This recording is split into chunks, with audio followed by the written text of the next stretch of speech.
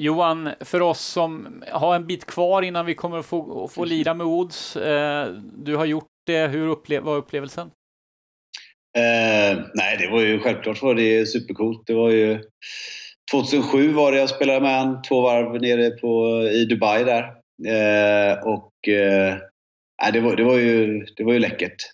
Tyvärr så blev det enda gången som jag, som jag fick gjort det, men eh, det, var, det, var, det som jag tog med mig där var ju egentligen att han spelade ju faktiskt rätt risigt tyckte jag. Eh, men ändå så eh, ja, var han väl fyra från ledningen och gick och vann tävlingen. Så, eh, så han var sjukt bra från ruffen eh, in mot green och eh, gjorde ju några otroliga saves efter en hel del riktigt dåliga slag. Liksom. Det var det jag, jag tyckte var imponerande. Mm.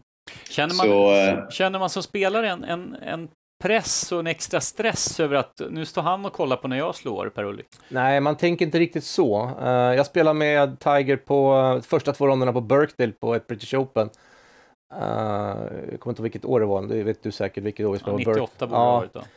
Och då, ja men det är speciellt att spela med honom. Både jag och Johan har spelat med de flesta av de bästa spelarna i världen, men det är lite extra med Tiger på något sätt. Han har någon aura och, och det, man försöker koppla bort det, men det är klart att man är lite spänd och, och spela med världens bästa spelare.